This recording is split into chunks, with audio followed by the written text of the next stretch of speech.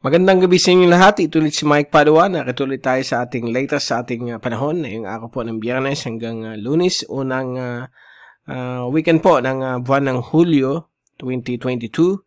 Ito po ang uh, latest weather analysis. Tagalog version, pinaglilingkod sa inyo ng Typhoon 2000. Meron po tayong uh, dalawang bagyo na yon sa ating area. Although yung isa nakalabas na po ng PAR, ito po yung bagyong si Chaba at si Eire. Ito po ang mga international names ni Kaloy at Domeng respectively. At ito pong si uh, Chaba ay lumalakas po at malapit na maging ganap na typhoon.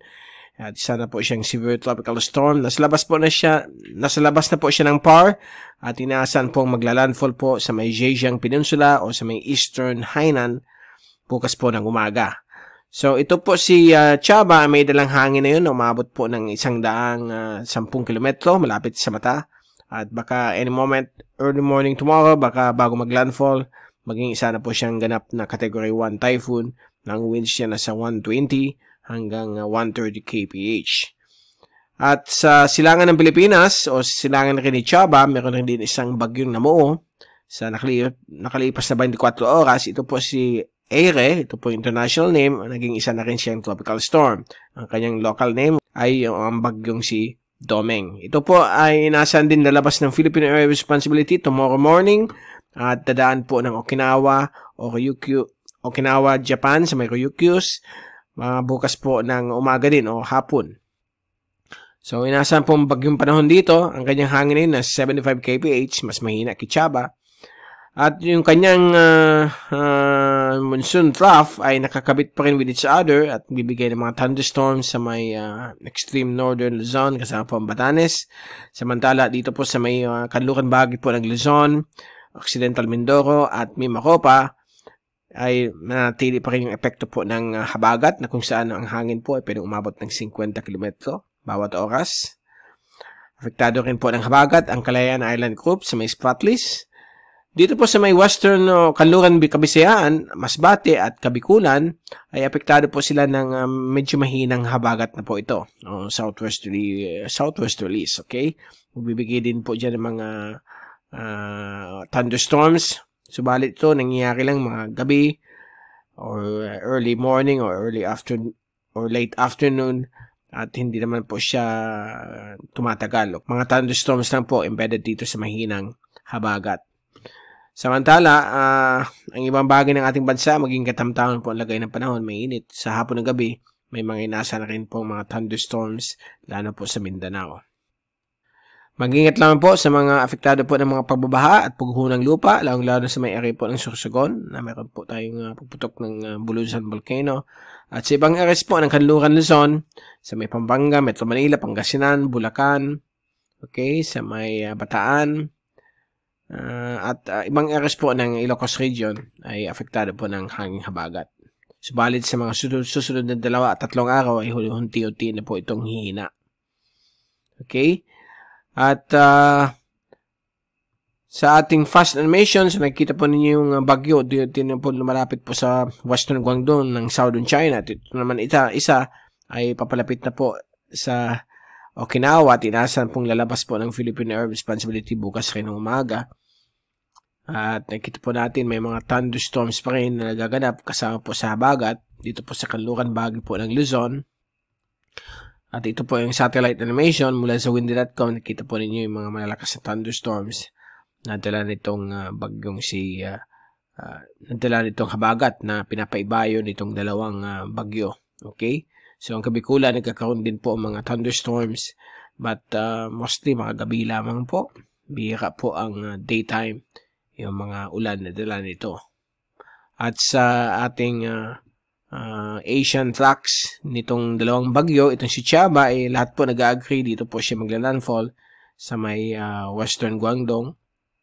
Bukas po ng umaga o hapon at uh, ang bagyong si Eri naman po ay inaasahan rin pong lalabas ng PAR bukas ng umaga at dadaanan po ng Okinawa.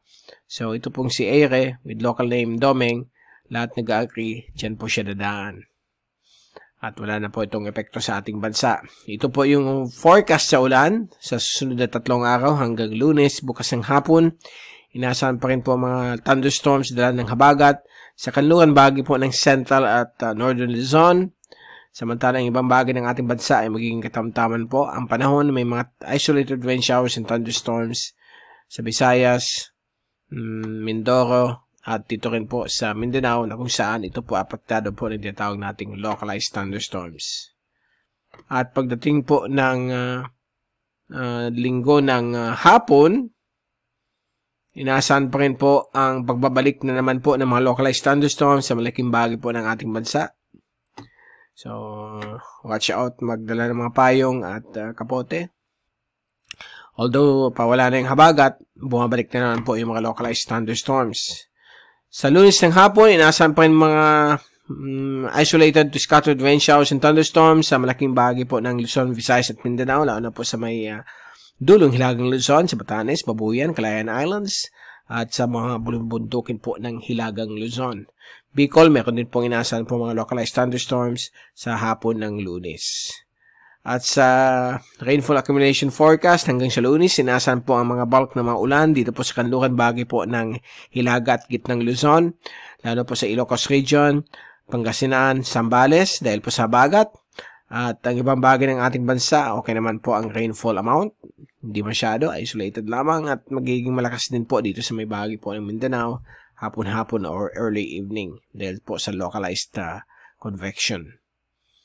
At bago tayong paalam, ito yung ating wind forecast. Sunod na tatlong araw. Bukas ng hapon, inaasahan po natin ang mahinang uh, habagat dito pa rin sa kanlukan bagay po ng uh, western coastal areas ng Luzon, Mimaropa. Samantala ang uh, Bicol region ay magiging timog hanggang timog silangan lang po ang hangin na mahina. Visayas, mahinang hangin mula sa timog silangan. Gayon din po sa Mindanao, medyo variable po hanggang tahimik po ang ating uh, hangin po sa Mindanao. Linggo ng hapon, inaasahan pa rin pong uh, ang mahinang habagat dito po sa kanluran na uh, bahagi po ng Luzon na magiging kalmado hanggang paiba-iba po ang direksyon sa Bicol, uh, Mindoro, Visayas at Mindanao. At sa lunis ng hapon ay, ay nasan pa rin po ang mahinang habagat at mahinang hangin mula sa timog sa coastal na areas po ng Luzon, kasama po ang Batanes, samantala ang inland areas po ng ating bansa ay magiging kalmado hanggang paiba-iba po ang direksyon ng hangin. At uh, yan po ang pagbabalik po ng uh, tropical weather conditions sa ating bansa since palayo na po itong mga systems, hihina na rin po itong mga uh, hangin dala ng habagat. Okay, so yan po. Diyan po natin tinatapos ang ating latest uh, update yung weekend. So, mag-relax na po tayo dahil improving weather na po hanggang uh, Monday. Subalit sa hapon ng gabi, nandiyan pa rin mga thunderstorms dulot po ng uh, localized uh, tropical weather uh, na kung saan uh, nanatili pa rin yung paghina ng uh, La Nina although nandiyan pa rin yung epekto niya. And uh, next week, magbibigay tayong update tungkol sa La Nina kung ano na po ang situation. At uh, see you again on Monday. Mula sa Typhoon 2000, ito si Mike Padua nagpapaalam. Mag-ingat po tayong lahat. Happy weekend to all and be hashtag weatherwiser, hashtag Typhoonwiser at maraming salamat po sa pagpanood sa aking channel.